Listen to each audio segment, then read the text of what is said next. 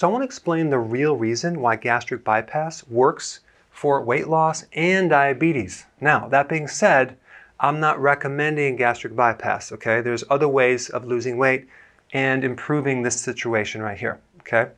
But this is why it works. You got the stomach right here, got the small intestine right here. Here's the pancreas. What causes weight gain is high levels of insulin, okay? What prevents you from losing weight is high levels of insulin.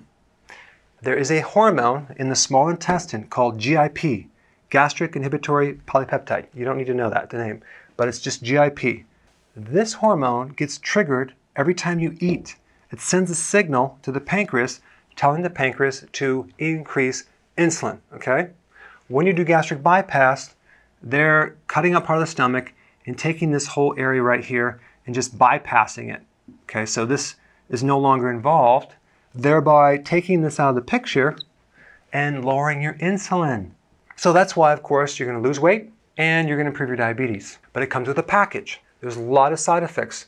And I think it's really unnecessary because all you really need to do is cut down the carbohydrates, the things that stimulate this, do healthy ketosis, and intermittent fasting. So you're not eating so frequently because every time you eat, you trigger this hormone. And that way you can avoid getting this procedure. But if you want to know why it works, that's why. Thanks for watching. So I hope you're coming to the Keto Health Summit coming up in October. So I want to quickly comment on what we're going to do that's different from other conventions, okay?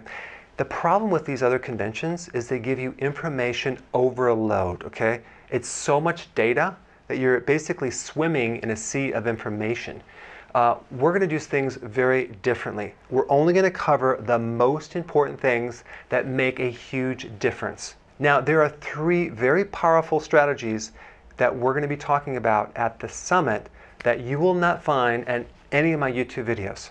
Number one is on memory. I'm going to be showing you something very cool to dramatically increase your memory and concentration that's going to blow you away.